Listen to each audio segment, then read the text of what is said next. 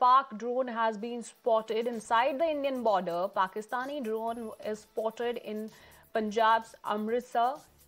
That's a border area. Nearly 15 kgs of uh, drugs has been seized.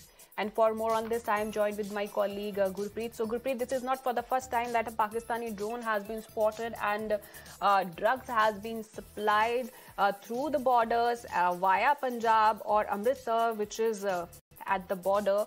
So, uh, uh, we, as of now, nearly 5 kgs of drugs has been seized.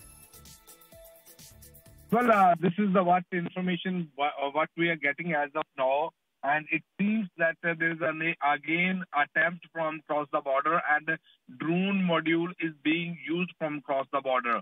Uh, when our army, which is already alert, they had gone there, they have recovered huge quantity of the packets from there. Now the further investigation has already been started and uh, because of the movement of the drone in Indian territory, the search operation is already underway to find out if there is anything more they have are trying to push from across the border because because so many times we have seen uh, a drone module is being used from across the border, whether for the weapon, uh, arms and ammunition, or for the drugs also. So let's wait for the investigation uh, uh, that is likely to be completed and such operation is underway so that we will be able to understand what type of this module and what type of conspiracy has been had from across the border.